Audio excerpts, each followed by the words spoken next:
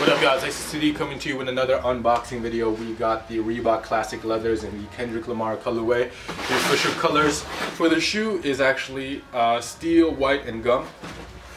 So last year, uh, Kendrick Lamar decided to use uh, the Reebok ventilator to promote unity and peace across the globe. This time around, he wants to spread the same message through his shoes uh, with the CL leathers. Uh, so if you guys don't remember last year, it kind of had the same concept, very very similar to this shoe. Uh, featured a suede upper, very neutral shoe, and on the back you have the red and blue uh, on the tab right there.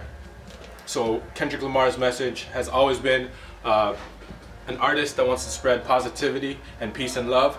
He, and he wants to do something in a bigger scale uh, kind of bridging the gap between two of the biggest gangs in LA and across the globe, which is the Bloods and the Crips. So on one foot you got the red and the other you got the blue, and on the inside tab you got the neutral to symbolize peace and unity.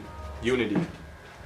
So pretty cool concept, and it's definitely the perfect uh, concept and message that Kendrick wants to spread seeing that he does want to do a lot of positivity and there's a lot of positivity in his music as well. So let's start by reviewing the outsole of the shoe. You have the CL leather and gum on the outsole right there.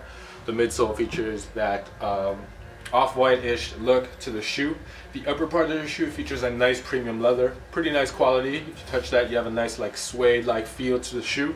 And the shoes come with your circular laces, but also an alternate pair that you can switch uh, if you like, like a waxed off-white like lace that you could also switch up if you decide to do that. And the key part of the shoe is definitely the back right over here, the red and the blue. And also on the inside with the neutral right there on the blue part of the shoe and on the red to promote unity.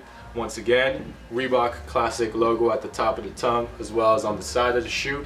And finally, you got his signature on the inside. On the right pair, you got the red Kendrick Lamar TDE tab and on the left pair, you got the blue Kendrick Lamar TDE tag right there too.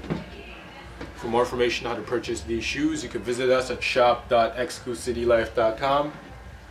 And for more information on our locations in the Montreal and Toronto area, you can also visit us at shop.exclucitylife.com.